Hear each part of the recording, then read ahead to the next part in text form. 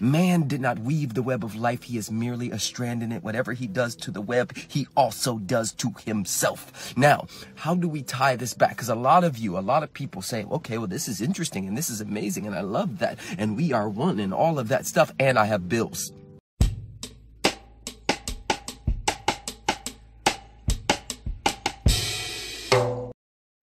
Blessings and blessings.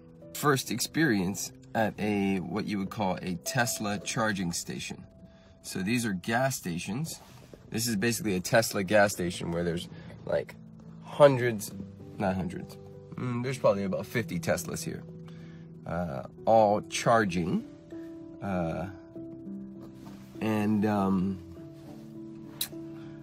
it got me thinking about um,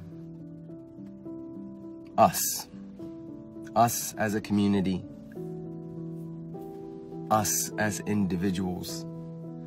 Uh, recently, I had a ceremony in Joshua Tree, and while I was in that ceremony, uh, one of the messages that came very clear to me was that uh, my journey is our journey. Very often, I would find myself trying to go do all the work and feel all the stuff by myself and then come back and say, ta da! Look what I did. Look what I experienced. Look how I am amazing.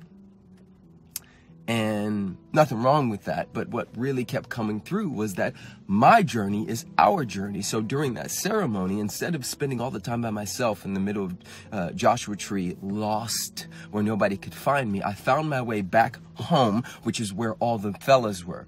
And it reminded me of this metaphor uh, and a true, like, this is a fact. There is a system a tree system called an aspen grove. And an aspen grove can span for hundreds of miles. Trees everywhere. Hundreds of trees. Thousands of trees. But the aspen grove shares one root system. Let me know if you if this is landing for you right now. The as there there are hundreds and thousands, hundreds of trees, right? And yet the aspen grove shares one root system. And so above ground, it appears like there's a bunch of individuals. But below ground, there is a, a, a community supporting each other holding each other, reminding each other, pushing each other, loving on each other, sending nutrients to the places where the aspects of the trees are sick. If a, if a tree dies in an aspen grove, all the other trees send nutrients over to that spot so that a new tree can be born. This got me to thinking about the reality that he who sets the fire is also burned in the fire. That we are all firmly planted in the same root system.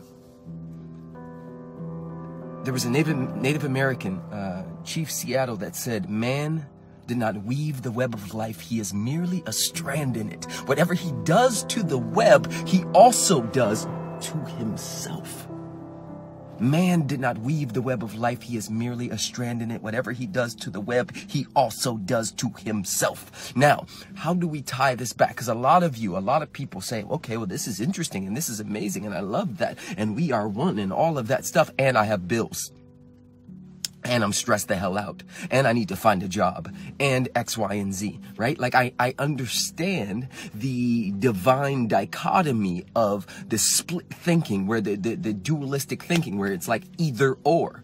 And I'm introducing and I'm reminding you that it's a both and. And the more that you remember that we are all firmly planted in the same ground, the, the, the more you will receive from that same community. Ooh, let it land. Hear me. I'm not sitting in a Tesla. Right? This is an $80,000 car. I'm not sitting in a Tesla because I was only thinking about me. I'm sitting here in this now moment, in this experience, because I understand that thing. There are thousands of people on our planet right now that will say, P stood for me. P went the extra mile. There are people I sit and go back and forth with on Instagram, voice notes. Hey, I feel like I'm, I'm, I'm at the edge and I, and I think I want to kill myself. Hey, don't do that. I'm right here. Not, hey, here, give me a thousand dollars and I'll work with you. There are people who reach out to me and say, hey, my mom has cancer right now and I don't know what to do. I talk to them. So I'm not sitting here because I'm only thinking about me. And I'm, I'm, I'm sharing this, guys, because I know that it can be, uh, it can feel counterproductive to focus on everybody else or on other people, right? But we are in Aspen Grove. And when, when we understand that, and start to really live that way, what happens is, is when we fall, because you will, everybody falls, everybody falls. The root system, community, will send energy your way to support you, to hold you, to love you, to push you, to move you forward, to help you harmonize your internal beingness so that your external uh, world starts to match the internal world. Are you hearing me? Please tell me this is landing. He who sets the fire is also burned in it. And so when, when you think that you are um, uh, out here competition, fuck them, I'm, I'm gonna rise to the top and crabs in a barrel kind of thing, you're burned in that fire. Hear me, you are burned in that fire.